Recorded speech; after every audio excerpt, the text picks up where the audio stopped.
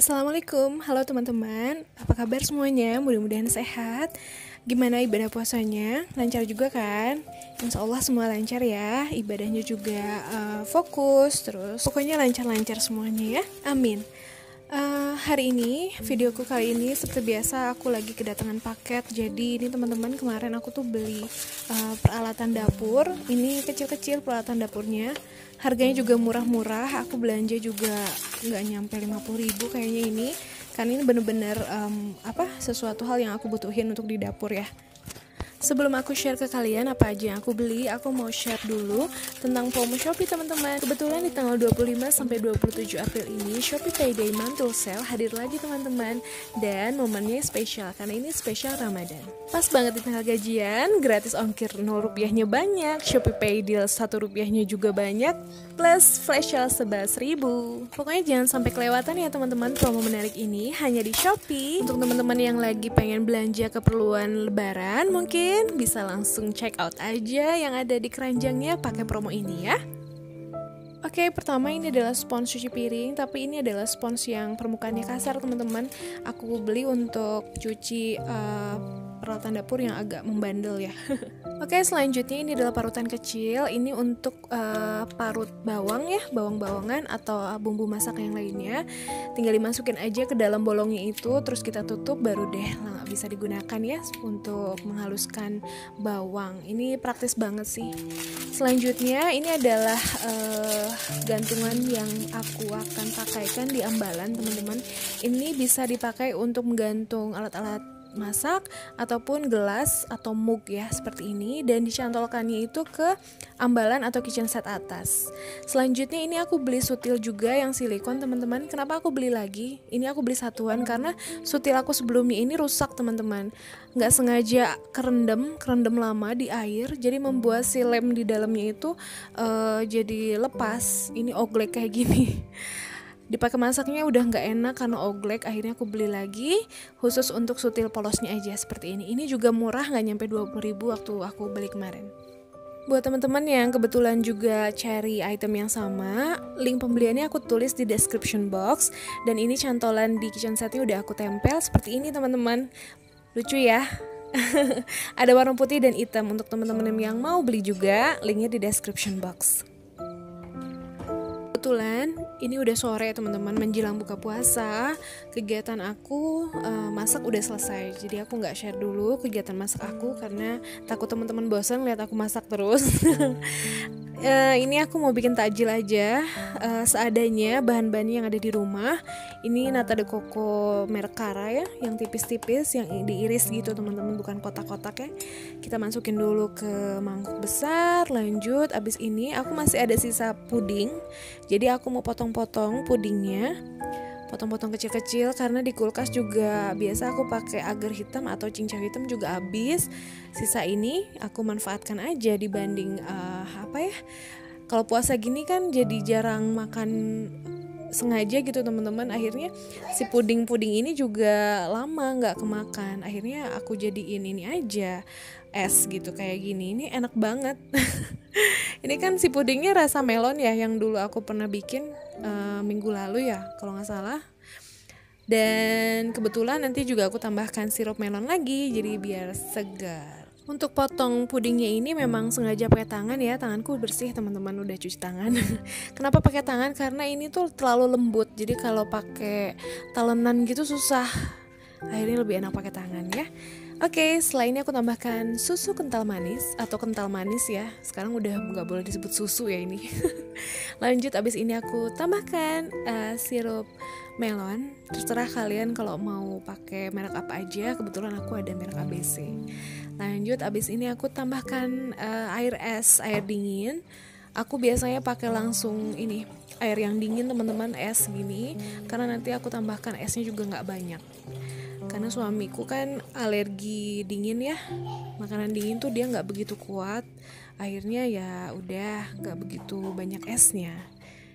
Oke udah jadi. Ini lebih cantik kalau kita tambahkan biji selasih teman-teman. Cuman karena aku nggak ada ya udah seadanya. Oke ini sebentar lagi masuk waktu maghrib. Ini aku lagi nunggu azan. Sambil nunggu waktu berbuka aku tutup-tutup gorden dulu dan abis ini gila iseng banget deh aku abis nutupin gorden dimainin lagi gordennya ditarik-tarik. Dan itu juga Abi Kila itu lagi rehat dulu karena dia baru selesai ngajar online teman-teman. Capek dari jam 2 siang baru selesai mau maghrib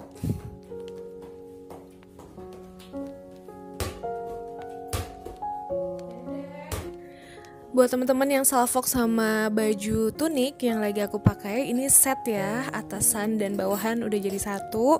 Murah banget 130 ribuan aku beli di Shopee dan kualitasnya tuh bagus. Rayonnya juga bagus. Katun rayonnya enak banget, adem, lembut.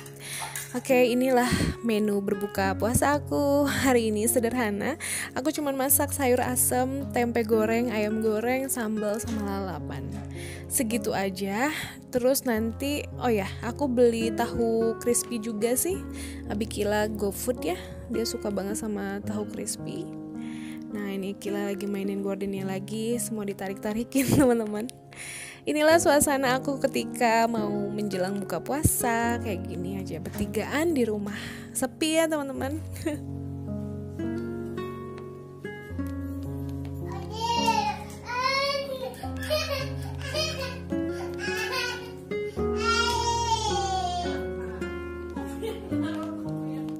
Ya gini deh Kila nangis karena dia panik nyariin mainannya yang sebenarnya dia tuh udah nyimpen sendiri gitu lupa nyimpen. Dia panik dikira aku mau pergi karena buka pintu.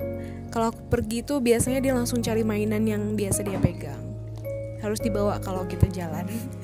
Oke ini udah masuk buka puasa Alhamdulillah. Nih ikan asin teman-teman enak ya ikan asinnya agak kelihatan gelap kelihatan kayak gosong padahal enggak. Dan ini juga tahu crispy-nya udah datang diantar GoFood sederhana banget ya teman-teman. Tapi alhamdulillah udah cukup nikmat buat keluarga kecil kami buka puasa dengan ini. Oke okay, alhamdulillah udah buka. Sekarang aku mau makan es jelinya dulu. Tadi sih udah minum sebelumnya. Alhamdulillah teman-teman uh, puasanya lancar hari ini terus nggak ada kendala apa-apa nikmat pokoknya semuanya dijalani dengan happy Oke, okay, habis ini aku mau sholat maghrib dulu. Setelah sholat maghrib itu nanti aku langsung makan.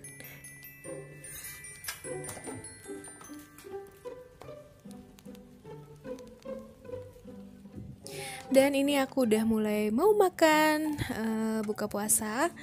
Aku sengaja percepat ya teman-teman biar cepat videonya.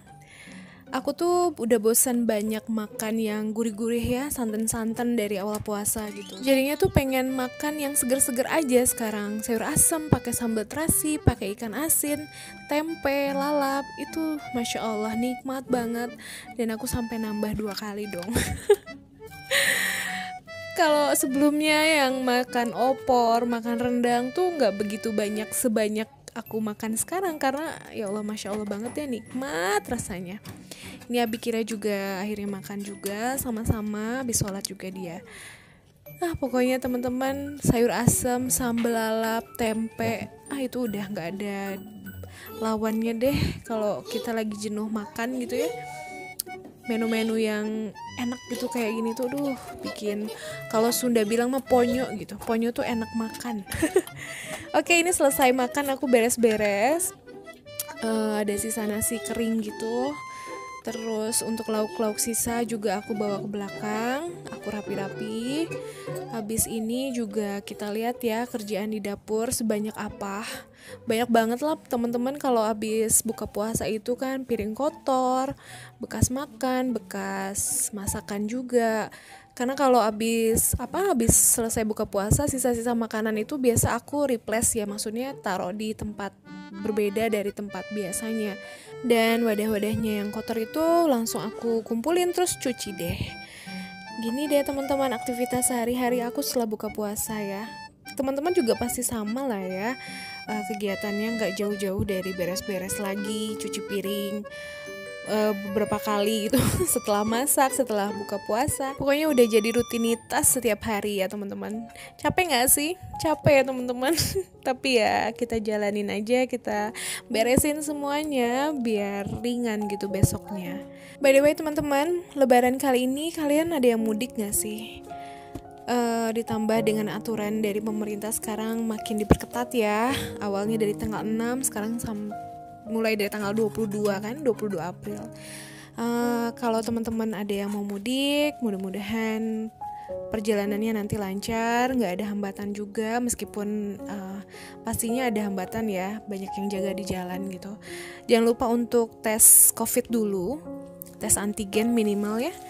Aku juga insya Allah mungkin akan tetap pulang ke rumah orang tua teman-teman di awal bulan Ju Mei mungkin kok Juni sih Juni masih bulan depannya lagi. Kenapa aku pulang? Karena kasihan mamaku ya. Jadi mamaku tuh udah ya teman-teman tahu mamaku kan sempat sakit sempat operasi dua kali gitu butuh uh, butuh ditemani lah istilahnya. Aku juga tahun kemarin udah lebaran jauh dari mama tuh nggak enak banget. Sedih rasanya. Sebelum aku pulang aku juga insya Allah akan memastikan kondisi aku dan keluarga harus sehat tidak membawa virus apa pun ya menghindari interaksi. Pokoknya insya Allah baik-baik aja. Aku nggak bawa sesuatu hal yang buruk ke rumah orang tua aku insya Allah. Teman-teman juga ya untuk yang mau pulang hati-hati jaga kesehatan. Pastikan kalian sehat pastikan kalian udah tes covid dulu.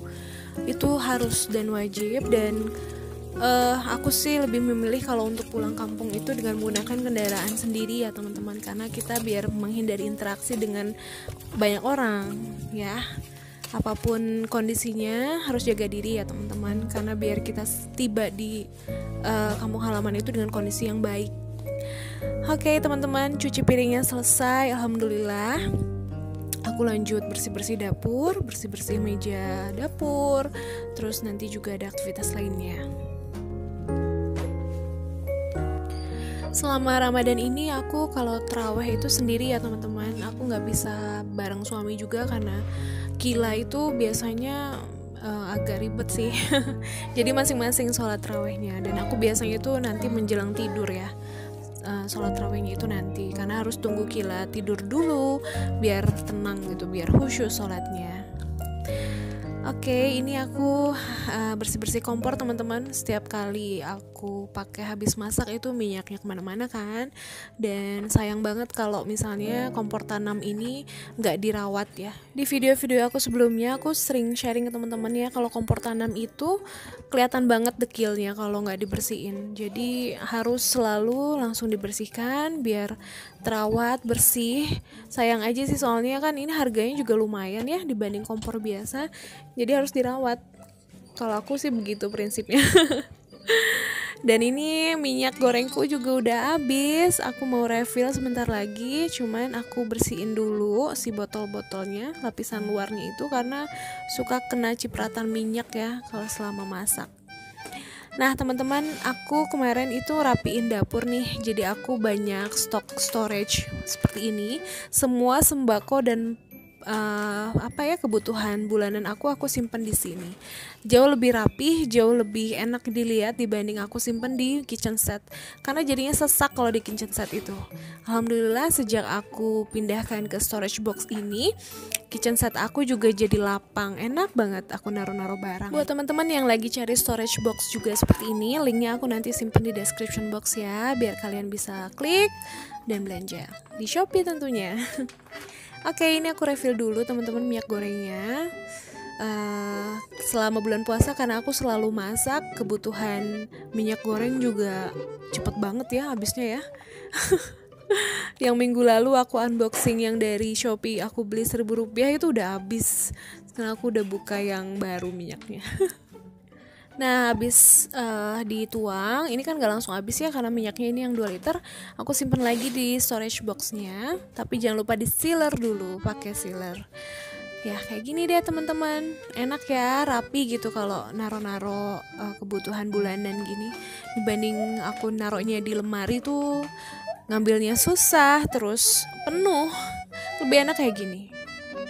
Untuk storage boxnya sendiri, ini yang lagi aku tutup ini ukuran L ya, ukuran large. Yang sebelahnya itu ukuran yang medium teman-teman. Nah, aku mau beli lagi nanti untuk yang mediumnya aku masih perlu 3 box lagi. Nanti aku beli lagi. Oke, untuk sisa makanan aku simpan di uh, ini tempat roti karena rotinya lagi nggak ada, aku simpan di sini. Sama aja kayak tudung saji ya teman-teman. Oke, alhamdulillah aku udah beres-beres dapur, udah bersih dapurku, ruang makan dan ruang depan juga udah rapih. Jam juga udah menjelang jam 11 malam, teman-teman. Aku pamit ya. Terima kasih udah nonton. Wassalamualaikum.